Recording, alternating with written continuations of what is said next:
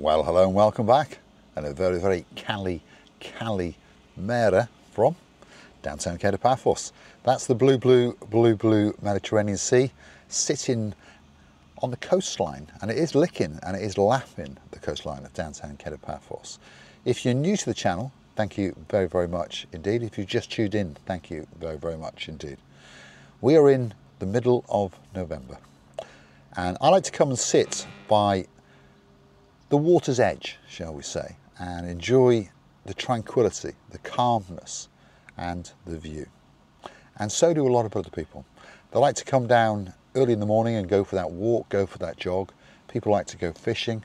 People like to go and sit and wait for one of the bars or restaurants to open. And then, of course, they can sup on a pint, have a frappe, have a hot latte, or perhaps wait for that perfect breakfast. But there is something special there is something unique about downtown Kato Paphos. People come back here over and over again. It's a little bit like Tenerife. Perhaps if your name is Lady Deborah and there's a Sir David in your life, yep, you've got a special place in your heart for Tenerife. But now you've got a special place in your heart for downtown Kato Paphos. And soon your princess will be coming with you. And I'm pretty sure that she will fall in love with downtown Paphos. Who am I talking about? Princess Millie will be waiting for you, and we really, really will. I'd like to say a big, big shout out to Lady Kirstine in downtown Damp and Dreary, Scotland, and of course Sir John of the Ricey. Hopefully, you guys are getting ready for Christmas because it's not far away, and then hopefully planning your next little trip to the island of love.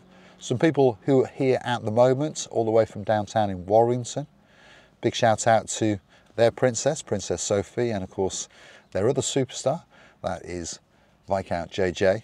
If your name is Sir Justin and Lady Tracy, thank you for coming to see us at the forthcoming Marika and Me Lounge Bar, and thank you for your ideas, and hopefully we'll get to join you for a drink or perhaps a bite to eat before you return to downtown Manchester and of course get back in the car and then head to Warrington. But of course it's not far and you could even pop into IKEA on the way, couldn't you?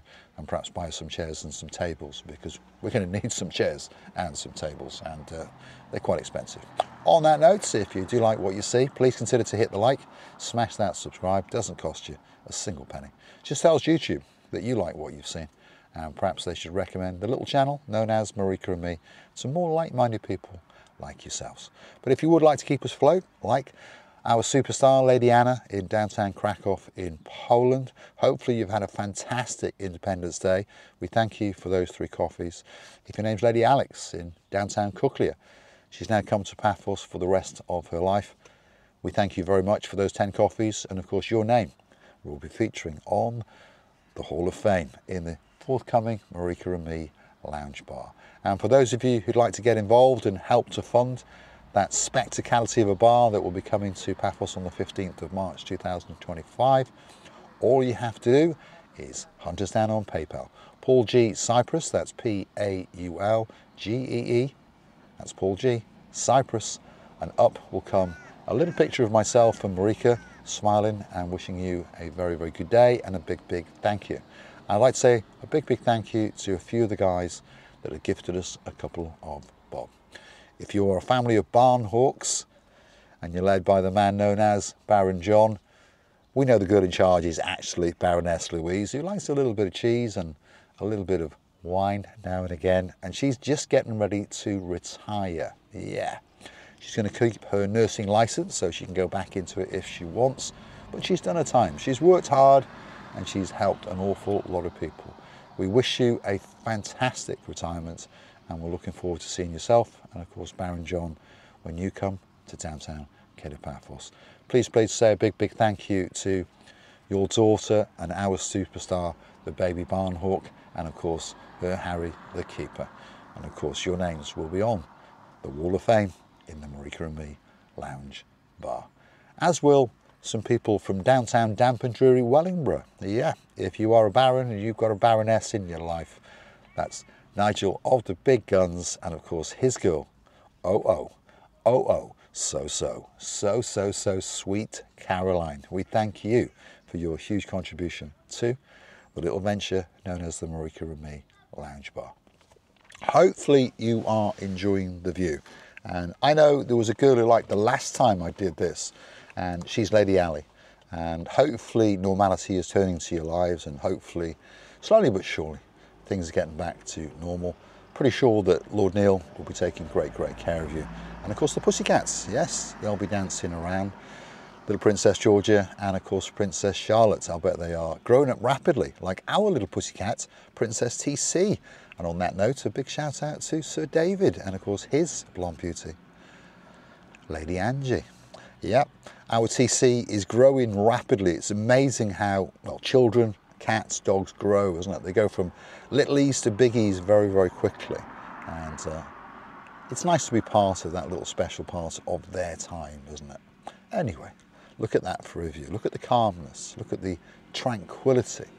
And remember, it's the middle of November. Yes, if you only just tuned in, you heard me correctly. It's the 15th of November. And I think that this weather is going to continue well into December. Yes, we get the odd storm, but it doesn't last very long. I mean, a lot of people on Facebook don't half like to make it sound as though it's the end of the world coming, but all we get is a bit of rain. And of course, Cyprus is not really set up for rain, is it? It's set up for holidays and set up for sunshine. So when the rain comes, the drains find it difficult. So the roads flood for a little bit, but not for long. And very soon, of course, it returns to this. And that's what it's all about, isn't it? That's what many, many people who watch little channels like ourselves want to see. They want to see the beauty, the spectacality, the calmness, the blueness, and the sunshine. And it takes their troubles away for that little bit. So I'll let you enjoy that view as I light up one of my little boy cigars. Yes, sir, Chris from downtown in Manchester. We're having to cut back on the cigars to fund the Marika and Me lounge bar because there's an idiot in downtown Wiltshire and uh, he convinced me to open a bar. Yes. All right, he did gift us £5,000 to start it off, but uh, it was his idea, so he's responsible for all of the troubles and all the grief that we are going through at the moment. But uh, we do thank him very much, and we thank his girl very much. That's Baron von Cigar, Lord of the Martin, and of course the greatest, greatest, greatest, greatest accountant in the world, Lady Victoria. Thank you very, very much. And of course, we look forward to seeing you on the 15th of March when you jet into downtown Paphos for the grand opening of that little bar that you started, shall we say. You started the fundraising for it and you gave us the idea. You gave us that push, if you remember. And uh, I'm never going to forgive you, that's for sure. Feast your eyes and digest.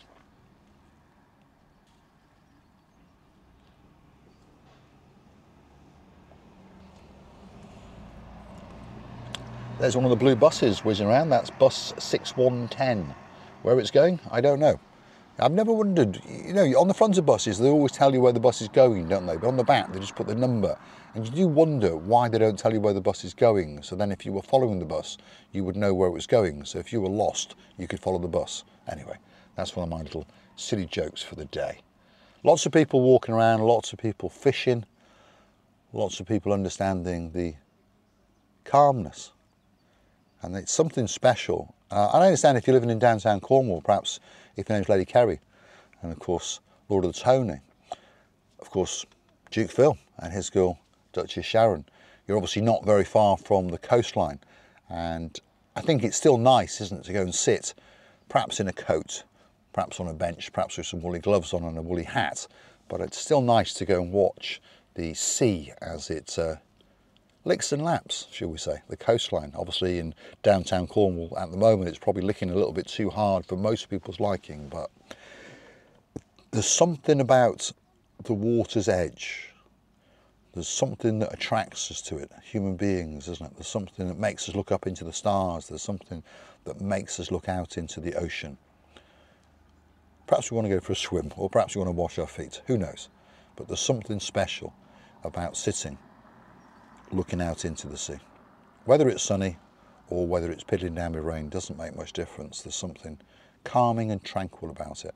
And as these people walk past, you can see all of them looking out into the sea. Their heads are cranked that little bit. They're all enjoying the view. And they all understand that uh, it's very special, especially in downtown Kato Paphos. And that's the point. If you are looking for someone to come for a holiday, perhaps you've never been to Paphos before, perhaps you've never heard of Cyprus before, we promise you, if you come here, you're going to get a fantastic, fabulous holiday. There is a lady here at the moment, her name is Miss Jane, and she was in conversations in the comments with me, asking about where T&J's Fish and Chip shop was. Now, I believe it's the best fish and chips in Paphos. Obviously, that's my opinion, but many, many people agree with me. I recommended her to go there. She checked the prices and said, oh, it's a little bit expensive. But anyway, she took the plunge and she went there. And then she said that she'd had an absolutely fabulous portion of fish and chips. And her bill, with a couple of drinks each, two people I assume, and perhaps they had some little dips and some bread and butter, as you do with fish and chips, was 50 euros. Now, it's not actually a takeaway, it's more of a restaurant that does takeaway. The service is fantastic, the food is fabulous, and it's very conveniently located. And I'm so happy that Jane went there and then said that she had a fantastic meal. And hopefully she will write a review on TripAdvisor for those guys because they do work hard and put an awful lot of effort into it. And I do believe that they make the best fish and chips, British style, on the island of Love. Although, if I was up in Protaras Way, I've no doubt that the man known as Sir George from Cyprus Insights would give me a smack round the head and say, no, it's Mr. Cod. And maybe it is. Next time I'm up there, I'm going to go and dip my toes in his swimming pool and I'm going to go and try Mr. Cod for some fish and chips. And hopefully next time when he comes to Paphos in the spring, he will bring his camera as he's threatened and come and make a little video in the Marika and me lounge bar. And hopefully Tom from the Cyprus Nutters, he's coming. He's coming to the grand opening. He's going to bring his camera as well. And hopefully Dominic will come as well. And we can knight him and give him a title and stick him on the Wall of Fame. Well, not literally, although that would be a bit of a laugh. Drop in the comments if you ever watched Dominic, would you like to be stuck on the wall of the Marika and lounge bar? We can get some of that uh, super duper gorilla tape or something like that. And you can bring a cat as well. Anyway, that's me pontificating and rabbiting on about a little rubbish as I normally do. The point is, if you're looking for a great holiday, whether you've been to Cyprus or not been to Cyprus, get on the internet, Find a special place that you think is perfect for you. Drop it in the comments, ask us our opinion, tell us a little bit about you, your ages, whether you're a couple, whether you're bringing children, whether you're bringing your cat, whether you're bringing your dog. And we'll give you our opinion. Because there's a lot of great, great places from apartments to villas to hotels and hotel apartment complexes in Paphos, which will provide great service for varying budgets and you'll have a great holiday and we promise you, you'll always want to come back, that's for sure. I'm going to sit here and watch as the people jog up and down and walk around and uh, plan my next move because I've got to go for a coffee, might go and get a bite to eat, and then I've got to go and do a little bit of work. Yeah, you see, even on the island of love, some of us have to work. Got to go and collect a car or two, perhaps sell a car or two. Well, that would be nice, wouldn't it, if I could sell a car or two and help to fund the Marika and Me Lounge Bar. I'm going to say thanks for watching. I've enjoyed your company. Hopefully you've enjoyed mine and hopefully you'll keep on coming back to the little channel known as Marika and Me. Thanks for watching.